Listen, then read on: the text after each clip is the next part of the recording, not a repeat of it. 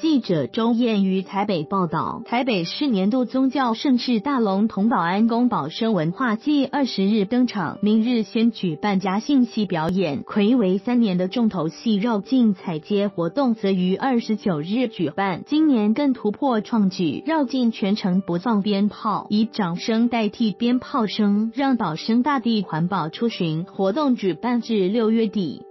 保安宫董事长廖武志表示，二十日登场的嘉兴戏是早期农业社会为酬神所办。今年除了职业戏团参与外，另有学校社团在帝国小，内容包含歌仔戏、北管戏及布袋戏。廖武志说，先前神教遭烧毁，为整修先停办绕境采街三年，今年再重新举办。除了响应环保不放鞭炮外，今年绕境队伍除了台湾各地民俗义政团体，还邀请国立台湾传统戏曲学院展现不同以往的官江舞蹈，另安排日本陶笛队伍及黑柱交演出，预估队伍绵延数公里。